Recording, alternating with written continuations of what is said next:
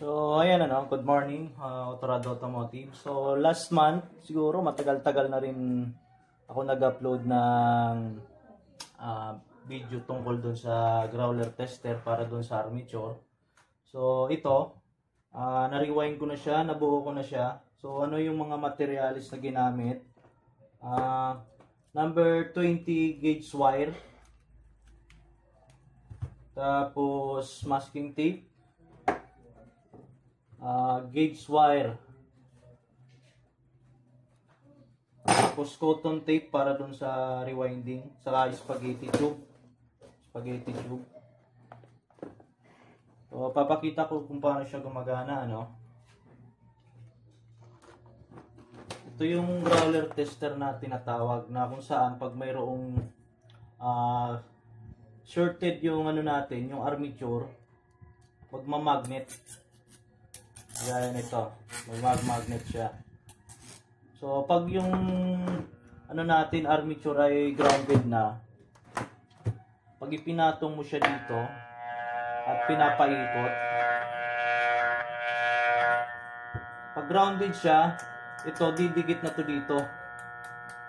Didikit yung lagaring bakal natin, katulad nito. So, ito, ibig sabihin, hindi siya dumidikit, hindi pa siya grounded. So, masasabi mo siyang grounded pag itong uh, commutator, ano na to, ano na siya, uh, tawag dito, uh, sunog na. So, ayan, hindi siya grounded. So, okay, itong ano na to, armature. So, paano ko naman siya ginawa? O, oh, mayroon tayong kakaunting computation dito sa rewinding. So, ang ginawa ko dyan, kinuha ko muna yung core area niya. Bali, yung core area niya, ang taas niya ay 1 inch. Yung lapad niya ay 3 inch. So, 1, 1 inch tapos 3 inch. Ita times lang siya. 1 times 3 equals 3. Tapos mayroon siyang constant para dun sa turns per volt na 7.5. So, ang gagawin dyan, i-divide mo naman ngayon yung constant niya dun sa to total ng core area. Uh, 7.5 divided by 3, lalabas po siya ng 2.5. 2.5. So, ang ano naman niya, kasi yung gagamitin natin dito, 220. So, mayroon tayong turns dyan na tinatawag yung ikot ng coil. So, bali 220. At times na naman ngayon yung total ng ano natin, ng turns per volt. Uh, ah, 220 times 2.5, lalabas po yan ng 550 turns. So, ibig sabihin yung turns na gagawin dito sa winding natin ay 550. So, ang watts naman niya, uh, ah, 330 watts lumabas. So, paano ko nakuha tong 330 watts? Ang ginamit ko dyan, kasi mayroon na tayong ano, uh, tawag dito, uh, gauge number 20. Tapos sa gauge number 20, sa mga American size na wire, mayroon na po yung ampere. Nandun na po nakalagay yung ilang ampere yung bawat wire natin. Uh, katulad nito, number 20 gauge wire, yung ampere po niya ay 1.5 ampere.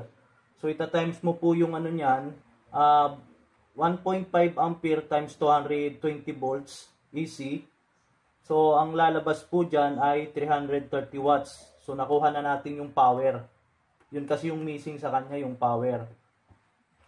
So, ayan yung watts niya, 330 watts. So, kaya nagkaroon tayo ng 330 watts. So, bali ito na yung pinaka, ano niya, pinaka power, power rating niya, 330 watts.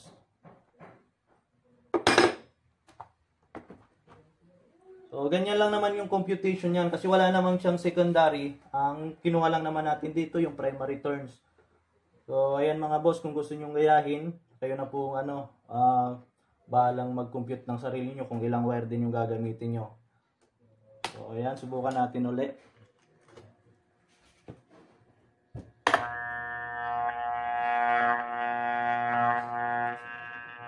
So ito pwede itong gamitin sa lahat ng armature. Pero ito kasi ang purpose ko nito uh, sa paggagawa ng starter motor para sa mga ano sasakyan. Kaya ko ito ginawa.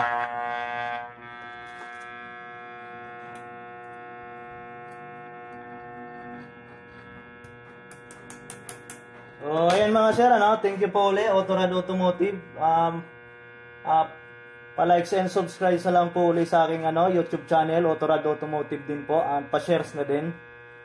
Thank you po ulit. Maraming salamat.